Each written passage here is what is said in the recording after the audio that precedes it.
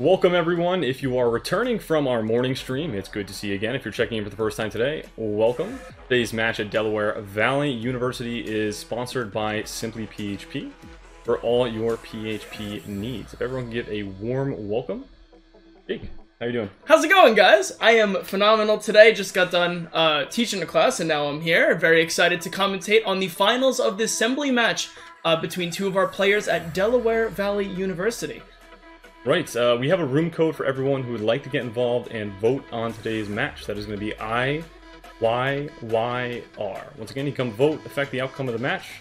Just go ahead and sign in below. Uh, remember to check us out on YouTube, Twitch, and if you like to play, it's blackrocket.com forward slash esports. Players are live right now in the drafting phase.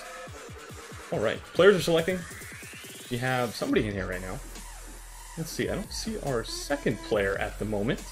Maybe we are just watching a warm up right now. Maybe so, maybe so. Maybe Um, so tell me, uh, out of out of all the games that you've seen, what is uh, what do you think is the most common uh, Item? object? Yeah, that gets I- thrown out there. I would say the spikes, and the reason why I say that is because you can hide the spikes behind some of the items in the match. So if you see like those toxic barrels, sometimes they clip behind. It is uh, it's a good tactic because in the heat of things, both players are running around trying to go very fast, and all of a sudden they hit a spike.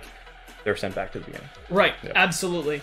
Um, I think uh, in the classroom today, when I had uh, the kids watching an earlier stream, uh, they mentioned a lot about the uh, this little ant guy over here. I'm not, Sure. too, yeah, I'm not too sure what his name is exactly, but um, they seem to like the fact that he could not only run around on the ground but also fly throughout the air. And a couple of the kids had a really neat strategy where you could have like them alternate and maybe fly past each other to make some jumps really tricky. Yes, our robot is powered by jetpacks. He is able to fly laterally throughout the map.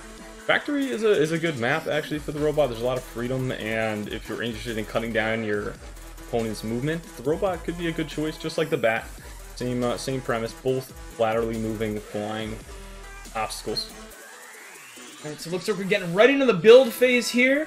Uh, we can see someone placing some uh, flying robots down in the bottom left here, gonna try to block off entrance to that gem there. We see another one in the middle from Nathan. Uh, looks like we're seeing Sean placing some spikes on the top left side here of the map. Definitely gonna be really tricky to get up that side, especially if wall jumping is their option. Yeah, so going right for those robots, as you said. Let's see if we can. There's a lot of them actually now. Ah, here we go. Okay, so Yeah. the toggle between Nathan and Sean's building strategies right now. All right, so Nathan's off to a slower start. A little more modest build right now. We're just going to have a couple of robots placed down a bat. Um, but remember, we are playing normal match. So if you were watching earlier today, we were in gem race. Right now, in normal mode, we are going to see both players compete on Nathan's level, and then Sean's and um, total score get tallied after that. So that's what we're doing uh, for this tournament. Let's see, what are we who are we spectated into right now? Nathan. I see more bats. I haven't seen. Do we see the spikes being hidden anywhere? Um, I do don't see see any out. hidden spikes, but it looks like he's definitely trying to uh, put some pressure in that one area in the middle to the right side with that one gem. Other than that, the board does seem kind of bare at the moment. Right. That's okay. Wow. Wow. Sean, We're completely opposite. Almost in- flying robots everywhere. Yes, almost approaching his build limit there.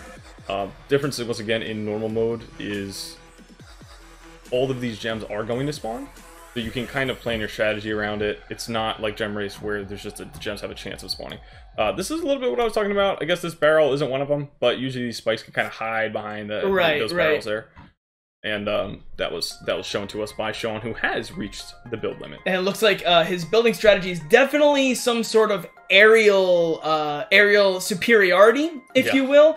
Um, he's got a lot of these robots around, making sure to cover as much ground as possible. But that does mean that the most of the ground will be safe to maneuver on.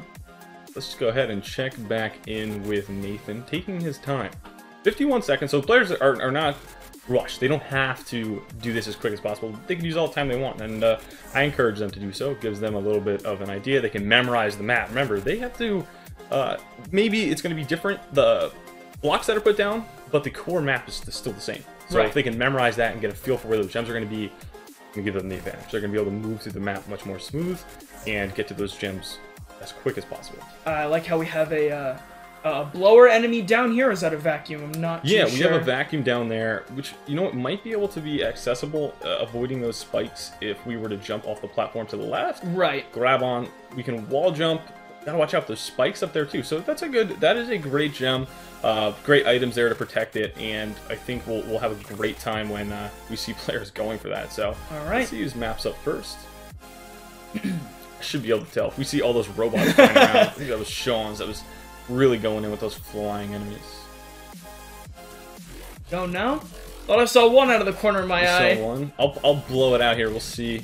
All right, Okay, so it so actually yeah, looks all like right, sure, we're on sure. Nathan's now. It looks like both of them are uh, going to try to go for that bottom left gem here. Um, we're gonna have to. I would like to see one of them jump off the platform to the left, like we were talking about, and see if they're actually able to grab it or not. yeah, looks like um, Nathan might be taking a little bit of a little bit of a, a page out of Sean's book, trying to go for some of the latter half gems in the stage. Maybe going to be taken over by some of his own play, uh, uh, placement of the traps here. Yeah, Sean's able to grab that first gem. Nathan still behind, but has plenty of time to go make up for this. We'll take a look. This is some of that wall jumping that we were talking about earlier. You don't want to spam it as quickly as you can. There's actually a rhythm to it uh, and timing to be able to get the most efficient jump possible. Uh, we have Nathan grabbing his first gem, so tied up, Sean and Nathan at one to one. But the time, if you notice, if you get gems earlier than your opponent, you're going to be awarded more points for it. So the quicker you can get to those gems, the better better chance you're going to have at that level. So now we're seeing people go for that low gem. Wow, that's that's really Oh. tough. That vacuum is really going Oh, it for looks it. like wow, Sean. Sean finally got it. Now both players are going to be forced to head to the uh, the extremities of the map here to get the other remaining gems. Yeah, if we get four gems, we'll unlock the end gem on the right hand side of the screen. You can see that. Uh, you'll get a lot more points if you're actually able to grab that one as well. Looks like with only 10 seconds remaining, can anyone make a final clutch play? Not gonna look too possible here. Yeah, Sean still has the lead right now. 1455 to 485. That's round one. Now we're going to switch. We're going to play the other map, and we're going to see. Remember, you can make it up. The quick gems are going to award you way more points. So even though even though we have uh, Nathan behind right now, there's absolutely no no uh, no way he, he can't get back into it. Immediately gonna sprint down there and grab that first gem. Both players getting a huge amount of points. Yeah, that was uh, much easier to get without uh, that vacuum there and the spikes over top. Both players went for that gem right off the bat. Absolutely. It looks like uh, both players now trying to figure out where some of these flying enemies are uh, located. Definitely going to be a huge threat when trying to figure out where the rest of the gems, available gems are. Now Uh, we're lights seeing out. lights out. Lights out affects us too. we can't. We also can't Yeah. see uh, for the most part here. Now we're heading back in. Nathan sees that gem up there and it looks unguarded. He should be able to go over to the right here, perfect. And now we're gonna wall jump up and Alright. grab both of those gems. A quick grab, nice point bonus for him. Okay. re- Unfortunately, gonna yeah. fall for death here. Right now, we can take a look and see just how close these players are. Really, too not too much of a point gap here. We're seeing Quake come back in again. If Nathan can get another gem, he can get to that big gem and get a huge point bonus and possibly get himself back in this game. There it is. It's available now. He grabs he grabs his fourth. Take a look in here. Let's check on Nathan. Let's have all four. He should just be going for that he- end gem. I'm not sure if he spotted it or not. Yeah, I'm not sure if he remembers where Both it players, is. all four gems. Only five only seconds four. left. Doesn't look like any player is going to be able to grab that end gem. Yeah. But uh, wow, Sean taking another win there with about 500 points on the lead. Um, and it looks like that is going to wrap it up. Yeah, so nice, quick afternoon match. Just want to remind everyone uh, that we also have our Battle Royale streams tomorrow. Two of them, so tune back in for that. And as always, come check us out on YouTube, Twitch, and if you want to play yourself, blackrocket.com forward slash esports.